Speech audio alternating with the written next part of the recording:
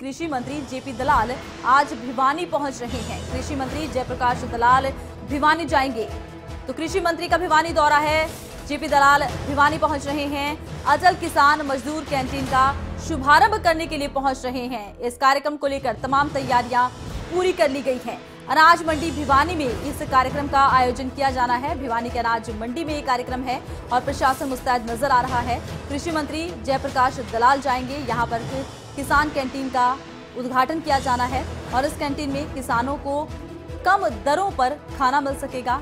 वो किसान जो मंडी में अनाज बेचने के लिए आते हैं, दिनों दिन इंतज़ार करते हैं कि उनकी फ़सल को खरीदा जाए। इस दौरान उन्हें किसान कैंटीन से लाभ ये मिलेगा कि उन्हें उचित दरों पर भोजन मिल सकेगा।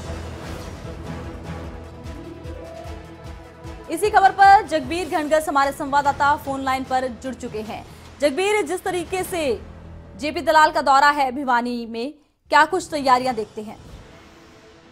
जी दौरे को लेकर पूरी तैयारियाँ और आज वो कृषि मंत्री और पशुपालन जो उनके पास विभाग है जेपी दलाल आज अटल किसान कैंटीन का उद्घाटन करेंगे। ये कैंटीन जो है सब्ज़ी मंडी के अंदर बनाई गई है जहाँ पर किसानों का आना जाना। लगा रहता है और खासकर जो फ़सलों का सीज़न होता है उस दौरान यहाँ पर किसानों की काफ़ी भीड़ होती है और उनको खाने पीने के लाले पड़े रहते हैं। कई बार फ़सल बिकने में दो तीन दिन लग जाते हैं और ऐसे में किसान कहाँ जाकर खाए और अगर बाज़ार में जाकर खाए किसी होटल में जाकर खाए तो उसके पास इतने पैसे नहीं होते महँगे होटल में जाकर वो खाना नहीं खा सकता। ऐसे में उनके लिए दस रुपए में खाने की ये कैंटीन एक तरह से वरदान साबित होगी जिसका आज उद्घाटन होने वाला है। जी। जी, बहुत बहुत शुक्रिया तमाम जानकारी के लिए।